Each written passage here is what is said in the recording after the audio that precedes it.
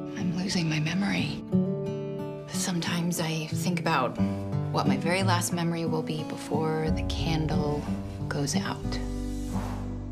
Fright is here in Los Angeles as we are celebrating the bittersweet end of This Is Us, the sixth and final season coming to NBC on January 4th, and we are going to be bringing you interviews with the cast.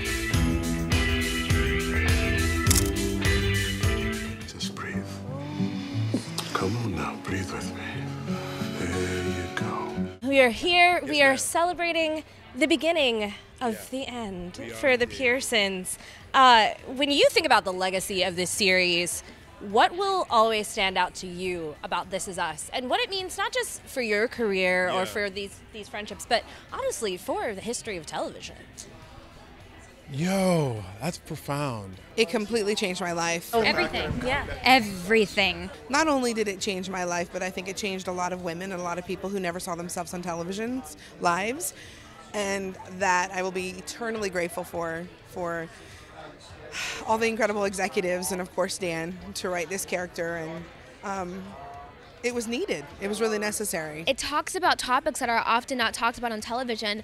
Um, Tess's character alone, her being a part of that community, television does not cover that topic a lot, and I think that it's one of the topics that they definitely like cover that are super important to talk about and that create conversations that are, like that are needed to happen in order for change. I know that you are back in that director's chair again this season. Are you already wrapped up with your episode? No, my episode is um, commingled with Mandy's and commingled with Justin's.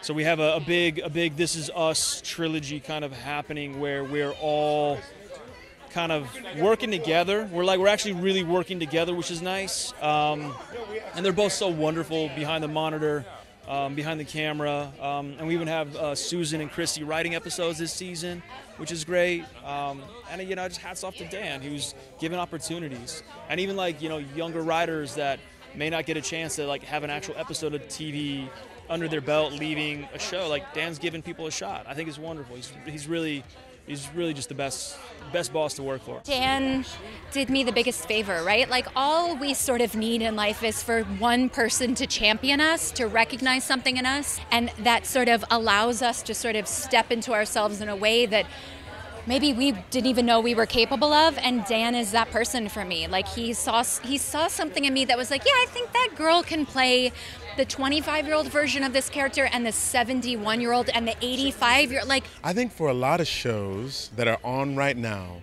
especially the shows that chose to tackle the pandemic, to tackle the social unrest that happened in the midst of quarantine, what Dan and our writers have done has created a show that has been relevant and I think will continue to be relevant until it goes off the air. It feels very special, you know. It feels uh, like things like this don't happen very often, um, and you know you just got to be grateful for every moment you get like this. Honestly. Well, I'm so thankful that I got to grow up on this show. I started when I was eight, and now I'm turning 14 this month. So I'm so thankful that I get to um, be around such amazing people every day and that I get to work on this show. Um, I definitely learned a lot, and it was my first ever show.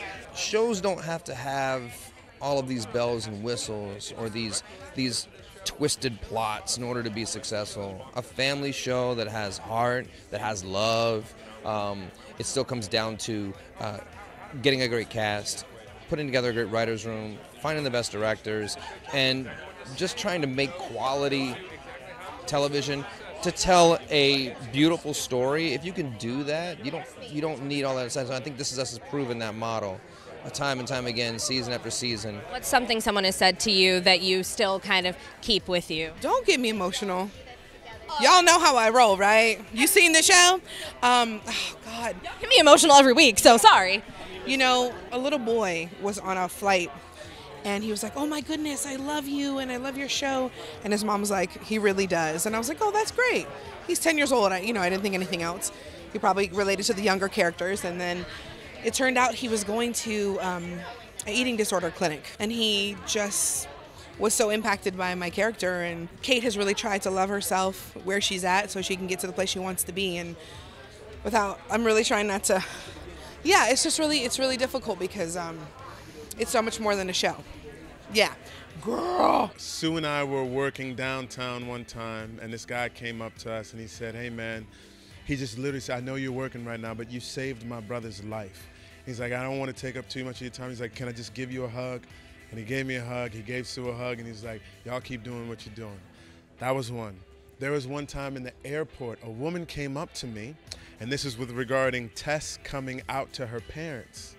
And she said, I did not have the same level of grace that Randall and Beth had with their daughter, with your daughter, when my daughter came out to me, but I'm learning and I promise that I will do better. And I was like, yo, if you can do that with a show, I had a woman who had a baby strapped to her chest, and she said, I adopted this baby because of you. And she's like, well, not you personally, but like the show and your character and whatnot. And I was like, oh my God. Like those sorts of things are countless and, and, and I don't think I've experienced them in the way that I've experienced them on this show at any other point in time in my career. What would you tell fans about season six? Aside from the fact that we're probably going to cry, you guys are going to wrap this up, you know, imperfectly. Uh, what else do you want people to know about this season's journey? Yeah, I mean, I think I think you'll get a lot of the same too. I think you'll get a lot of the, the, the laughter and the crying, like you were saying. I think that it will be something that that sits with people for a while in a in a really great way, in a great way and and maybe lifts them up a little bit.